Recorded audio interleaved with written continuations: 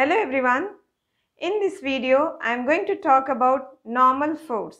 I will take different situations to calculate normal force. What is normal force? Normal force is a perpendicular force along the surface when a surface pushes against an object. For example, when a book is placed on the table, normal contact force prevents it from falling. Friends, if you like this video, hit the like button and subscribe to my channel. Press the notification bell to get all the updates as soon as possible. So friends, welcome to my channel Soni Singh Physics.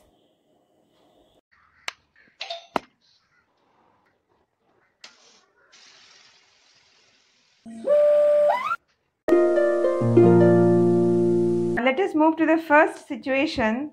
First situation is there is an object resting on the surface.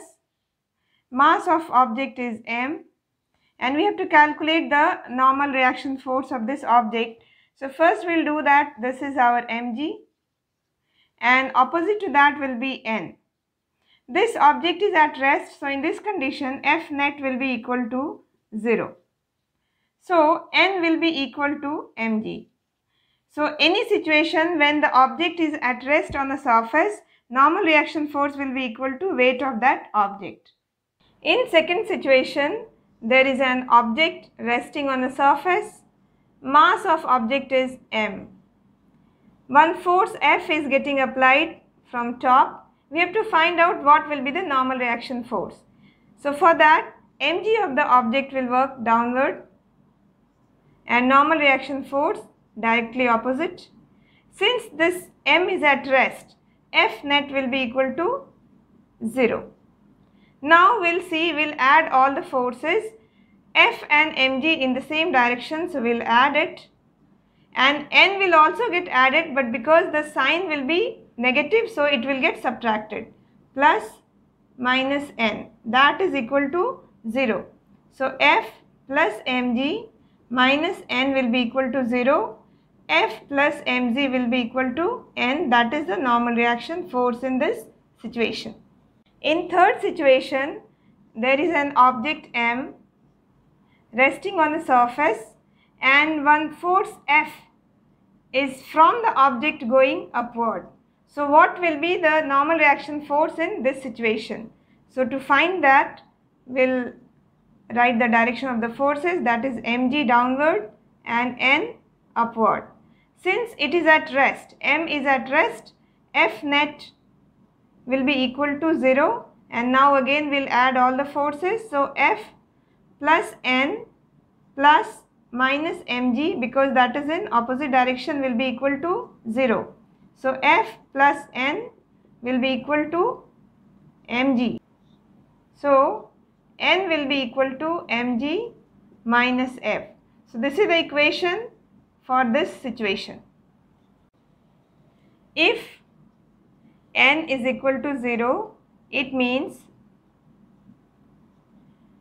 there is no contact. No contact or object is about to leave the surface.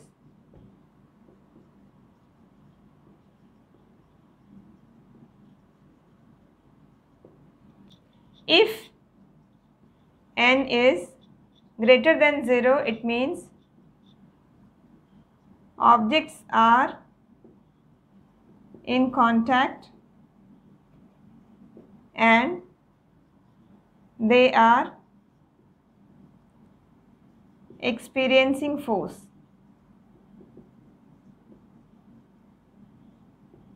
This is our fourth situation. As you can see, there are two objects and small m is resting on the capital M. These are the masses of these objects.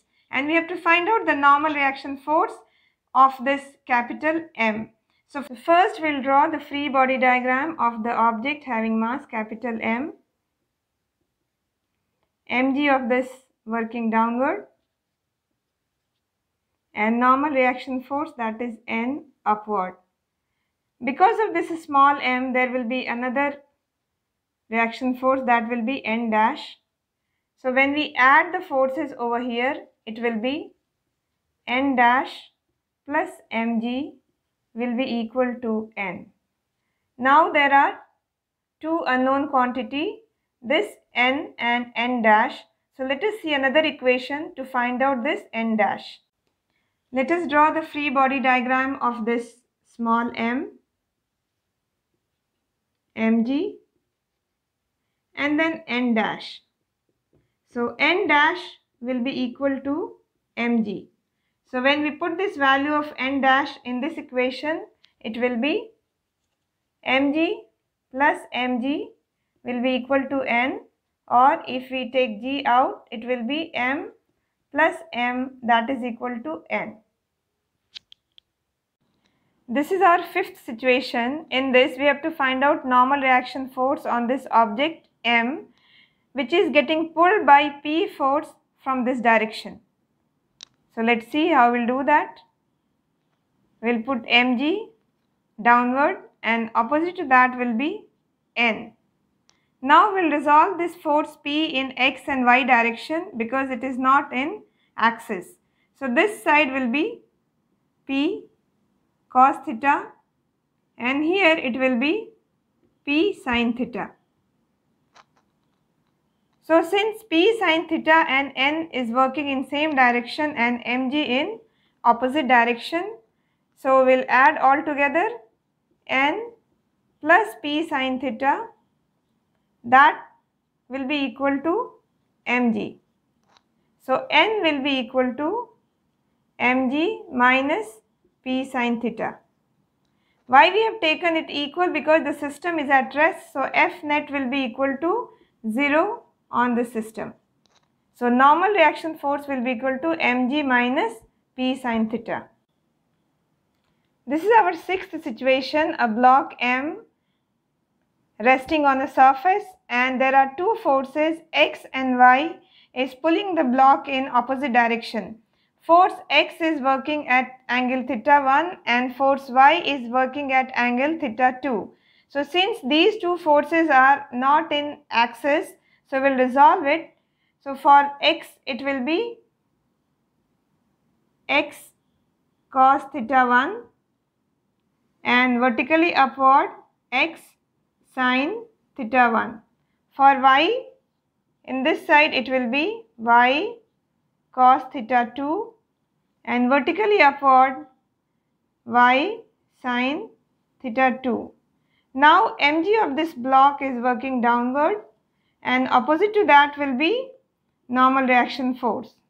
So as we can see here y sine theta 2 n and x sine theta 1 is working in the same direction and mg is in opposite direction. So we'll add all the forces and see that y sine theta 2 plus n plus x sine